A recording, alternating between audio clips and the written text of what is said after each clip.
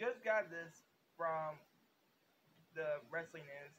Now, according to former WWE superstar Zack Ryder, aka Matt Cardona, saying he's 100%. Now, 100% of what? Returning to WWE? Now, yes, he did get released from WWE due to budget cuts two years ago. And Saudi Arabia, or Saudi, Uh, right, like, you know, like the uh, country pay-per-view for WWE.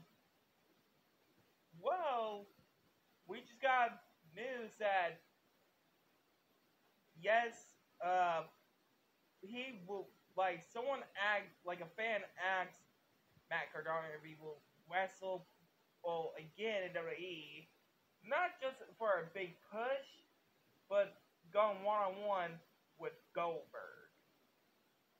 Now, yes, I thought Goldberg's contract was, well,